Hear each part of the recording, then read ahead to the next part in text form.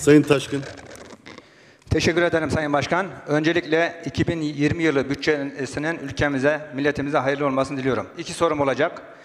2002 yılından itibaren Cumhurbaşkanımız Sayın Recep Tayyip Erdoğan liderliğindeki AK Parti hükümetleri olarak bugüne kadar eğitimden sağlığa, istihdamdan sosyal hayata her alanda engelli kardeşlerimizin yanında olduk.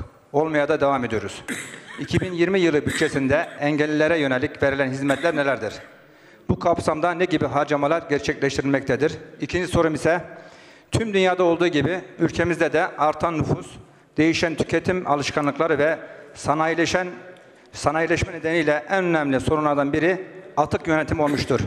Çevre ve Şehircilik Bakanlığımız etkin bir atık yönetimi için neler yapmaktadır? Teşekkür ederim.